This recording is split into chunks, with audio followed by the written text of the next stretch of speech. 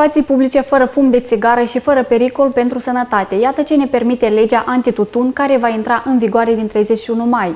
Legea interzice de asemenea fumatul în transportul public și în instituțiile publice. Ce cred oamenii despre legea antitutun aflați în reportajul realizat de colegii mei.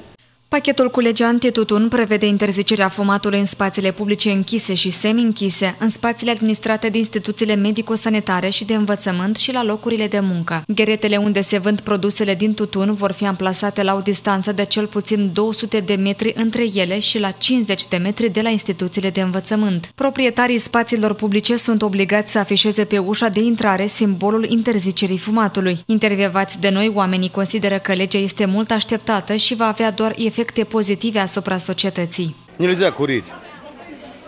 Atunci dumneavoastră de ce fumați? A? Atunci dumneavoastră de ce fumați? Привычка.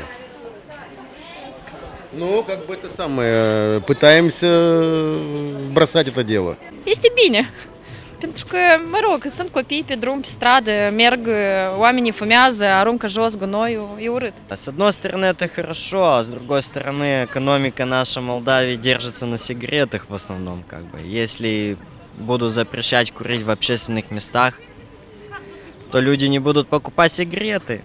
А если не будут покупать сигареты, у нас будет очень тяжело. Să nu fumeze în locurile publice, în locurile locative, unii la scări, la balcoane, la asta să nu fumeze. Eu sunt de acord. În loc public nu sper. Nu, ar Nu. trebui să... Nu, de ce nu?